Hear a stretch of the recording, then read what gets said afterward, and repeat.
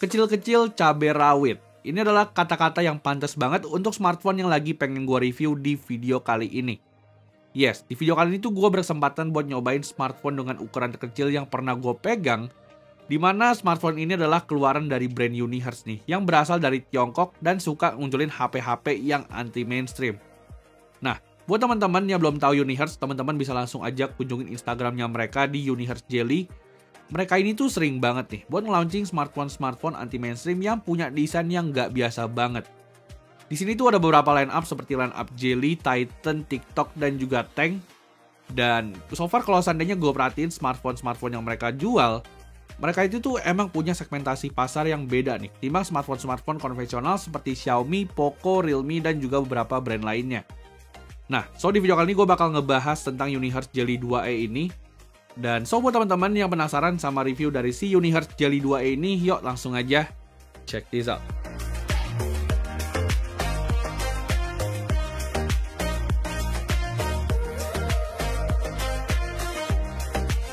Alright, kita bakal lihat dulu apa aja yang ada di dalam paket pembelian dari Unihertz Jelly 2e ini. Di mana kalau seandainya gua unboxing smartphone ini, pertama-tama yang bakal gua temuin itu adalah Unihertz Jelly 2e-nya sendiri nih, dengan casing bawaannya yang udah terpasang di HP-nya langsung. Di bagian bawah ada juga kitab-kitab dan juga SIM ejector. Dan di bawahnya lagi ada juga kabel charger bawaan dan gak ada kepala charger sama sekali.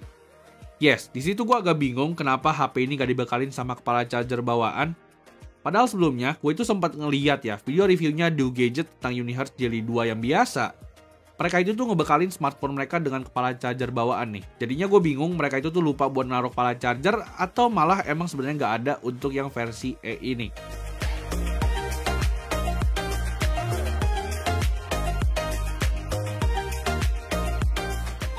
Meskipun namanya ini tuh adalah Jelly 2E yang bisa dibilang adalah seri ekonomisnya dari Jelly 2, tapi kalau seandainya kita lihat secara desainnya bisa dibilang nggak ada perbedaan sama sekali ya antara Unihertz Jelly 2 sama Unihertz yang Jelly 2E.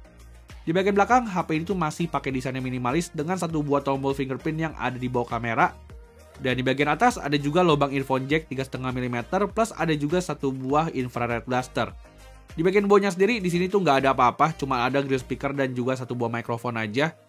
Sedangkan kalau seandainya kita lihat ke bagian sisi kanannya, pasti teman-teman bakal ngira kalau dua tombol yang ada di bagian atas ini tuh adalah tombol volume dari Unihertz Jelly 2E ini. Nah, awalnya gue mikir kayak begitu kan. Namun ternyata kalau seandainya gue perhatiin lagi dan gue udah coba secara langsung, ternyata dua tombol ini tuh punya peran yang sangat berbeda dari tombol volume nih. Di tombol atas ini tuh berfungsi sebagai tombol power Sedangkan kalau seandainya di bagian bawah yang warna merah ini, ini tuh berfungsi sebagai tombol flashlight nih. Jadinya teman-teman bisa akses flashlight langsung dari tombol fisik smartphone ini. Nah, di bawahnya ada juga lubang SIM tray dan juga lubang port USB Type-C. Dan ngomongin soal SIM tray-nya sendiri, HP itu mendukung dual SIM dan juga satu buah micro SD nih. Meskipun sistemnya ini adalah sistem hybrid. Lalu baru kalau seandainya kita lihat ke sisi kirinya, baru ada tombol volume yang dijadikan satu buah tombol oleh si Unihertz ini dan ini tuh kalau seandainya kita ngomongin soal ukurannya sendiri, HP ini tuh kecil banget ya. Ukuran HP ini tuh cuma segede dua jempol gua aja. Nah, tapi pasti teman-teman banyak kan yang nanyain, kira-kira ukuran smartphone segini enak gak sih buat ngetik? Well, jujur, gue sebenarnya cukup salut ya. Meskipun HP ini cuma punya ukuran layar 3 inci aja, HP ini tuh surprisingly dipakai ngetik masih bisa loh, tanpa adanya mistouch yang sering banget. Tapi emang beberapa kali gue itu sempat typo pakai smartphone yang satu ini, Cuman setelah gue pakai HP ini sekitar semingguan, gue kayak mulai terbiasa nih sama ukuran smartphone ini yang kecil banget. Nah, di bawah layar 3 inci ini juga ada tombol-tombol kapasitif yang berfungsi sebagai tombol home back dan juga recent apps. Dan secara default di layarnya ini pun juga terpasang anti gores bawaan nih. Jadi teman-teman tuh nggak perlu pusing-pusing buat nyari anti gores untuk Unihertz Jelly 2e ini. Lalu kalau saya teman-teman pakai HP ini untuk nonton, menurut gue experience-nya ini tuh kurang gitu yahut karena layarnya tuh kecil banget namun kalau saya teman-teman emang beli HP ini untuk menjauh dari sosial media ataupun untuk hanya sekedar hiburan aja, menurut gua HP ini tuh layak banget nih buat teman-teman beli karena menurut gua HP ini tuh nggak bikin adiktif sama sekali.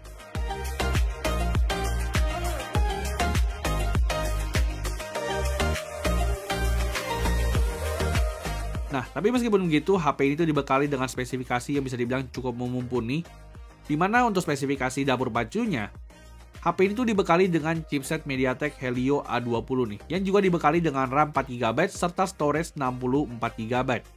Cuman yang gua agak aneh di sini tuh di bagian belakang kotak paketnya HP ini tuh bilang kalau HP ini pakai chipset octa-core.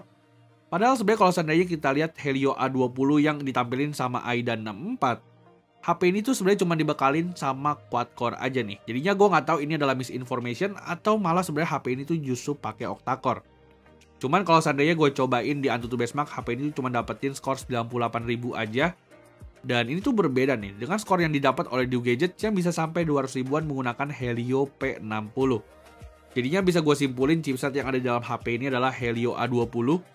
Cuman untungnya untuk dipakai sehari-hari, HP ini tuh masih cukup nyaman nih. Karena HP ini tuh pakai stok Android 12. Di sini kalau saya teman-teman pakai HP ini untuk scrolling IG ataupun untuk Googlean, HP itu bisa dibilang masih cukup oke. Okay Even dipakai untuk gaming pun HP ini menurut gue masih oke okay banget nih. Karena gue dicoba buat main game Mobile Legend.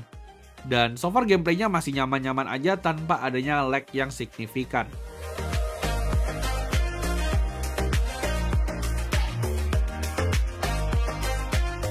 Lalu gue juga sempat iseng buat nyobain HP ini buat main game terberat saat ini yaitu Genshin Impact dan ternyata setelah gue coba HP ini buat install Genshin Impact, ternyata HP ini tuh bisa loh buat ngejalanin Genshin Impact meskipun frame rate-nya itu bisa dibilang menyedihkan banget.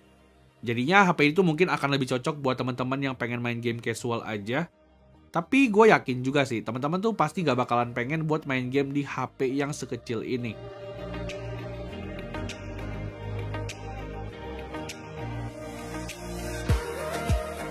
Lalu kalau kita ngomongin soal baterainya sendiri, HP itu dibekalin dengan baterai berukuran 2000 mAh yang di mana mungkin ini tuh kedengarannya kecil banget ya buat kalian meskipun sebenarnya kenyataannya HP ini tuh punya baterai yang awet banget.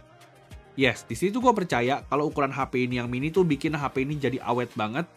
Di mana untuk pemakaian gue sekitar 2 hari, HP ini tuh even masih nyisain baterai sekitar 20 persenan nih. Dan untuk ngecasnya HP ini tuh bisa dibilang udah lumayan cepat.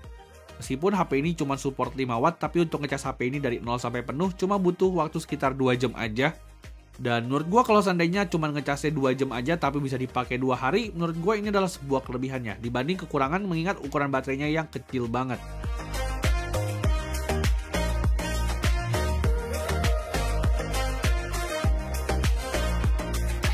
Nah, lalu lanjut satu berikutnya yaitu ngebahas tentang kamera dari Unihertz Jelly 2e ini.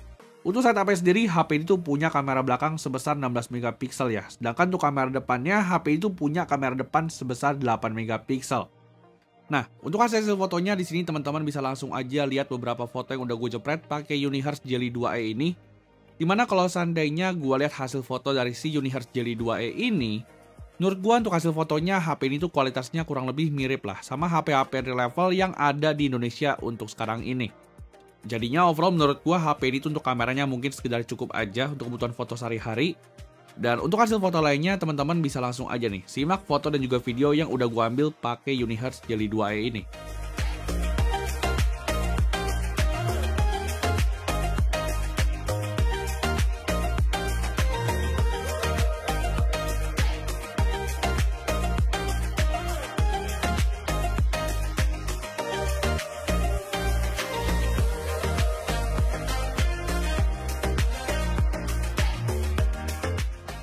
Jadi yang teman-teman lihat sekarang adalah contoh recording dari kamera depannya. Unihertz Jelly 2e dan ini resolusinya sebenarnya gue kurang gitu tahu ya. Tapi harusnya kalau seandainya kita lihat dari preview layarnya ini kemungkinan ada di 720p ataupun di 1080p hasilnya sih menurut gue udah lumayan stabil. Tapi kira-kira menurut teman-teman gimana nih? Bagus apa enggak? Langsung aja teman-teman bisa sendiri ya gimana untuk hasilnya. Thank you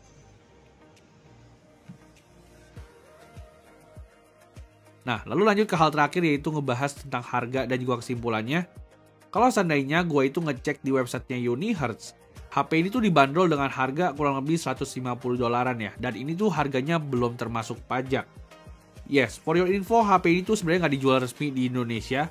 Tapi kalau seandainya teman-teman itu pengen nyobain smartphone yang anti mainstream ini, teman-teman bisa beli HP ini langsung aja ke websitenya Unihertz nih. Dan untuk biaya masuknya, HP ini tuh cuma sekitar 500 ribuan aja. Jadinya untuk email HP itu bakal aman banget buat teman-teman pakai di Indonesia. Dan untuk kesimpulannya, HP itu menurut gue bukan untuk semua orang nih. Karena gue jamin banyak banget orang yang nggak demen pakai HP yang sekecil ini. Jadinya buat teman-teman yang mungkin suka HP anti mainstream ataupun suka HP yang mini, teman-teman bisa langsung aja cek link yang udah gue taruh di kolom deskripsi. Atau buat teman-teman yang pengen beli HP X review kita, bisa juga nih, langsung cek aja link yang udah gue taruh di kolom deskripsi. So, palingan segitu dulu aja video gue mengenai review dari Unihertz Jelly 2E. Dan kalau saya teman-teman pengen gue itu nge-review lagi smartphone-smartphone kayak gini, teman-teman bisa langsung aja ya komen di kolom komentar dan kasih tahu teman-teman tuh pengen gue nge-review HP apa lagi. So, palingan segitu dulu aja. Jangan lupa like dan juga subscribe channel ini. Dan kita jumpa lagi di video selanjutnya. Thank you.